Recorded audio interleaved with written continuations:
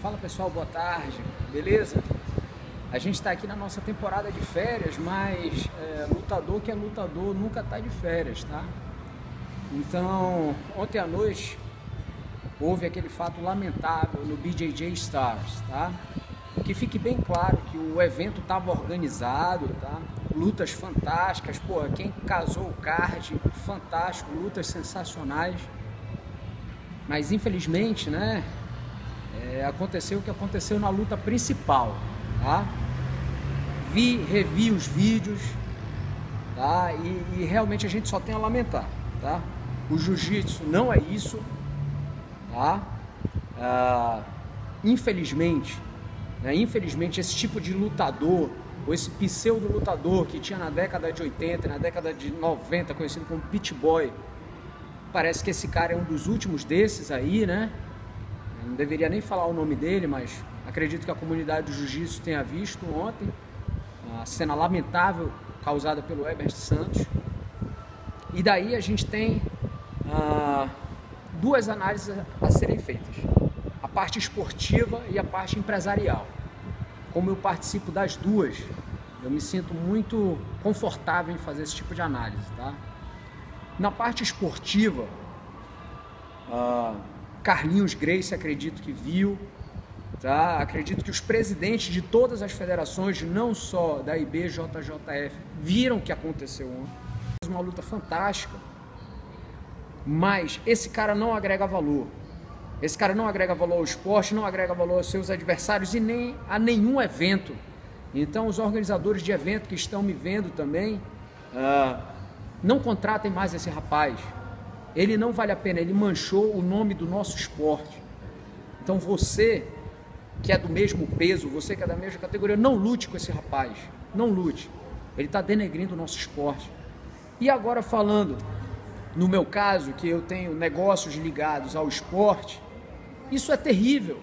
Isso é terrível porque é, ele trouxe de volta tudo que a gente não queria mais ver. Tudo que aconteceu na década de 90 no Grajaú, que não poderia ter acontecido de novo. Hoje somos profissionais, muitas pessoas vivendo do esporte, seja diretamente, seja indiretamente. Um lutador hoje vive do esporte. E aí fica o questionamento né, para os mestres, para os presidentes de federação, para realmente a doutrina da arte marcial né, prevalecer em cima do instinto. Ele agiu por instinto, agiu errado.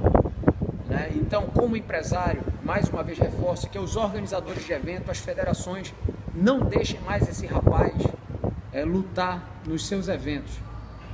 Tá? Fico muito triste, mas queria deixar um recado aí para os pais, para as mães, criado pelo nosso mestre Hélio Grace. E ele falava que a forma mais sincera de se resolver um problema é você e seu oponente. Esse rapaz não tem preparo, né? não tem preparo psicológico, não tem preparo emocional para aguentar uma luta desse peso. Então, gente, fica aqui o meu repúdio, fica aqui a minha torcida para que ele seja banido do esporte, né?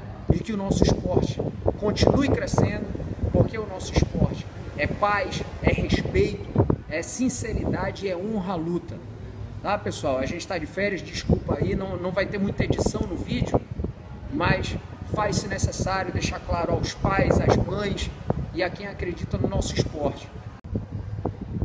E para você que está vendo aí o nosso, nosso vídeo e que viu o que aconteceu ontem à noite, e se não viu, já está em todos os Instagrams, está em todos os os canais especializados no YouTube, deixe o seu comentário. Deixa, deixa aqui embaixo no seu comentário que realmente você acredita que seja jiu-jitsu e a sua opinião sobre o que aconteceu né, ontem à noite.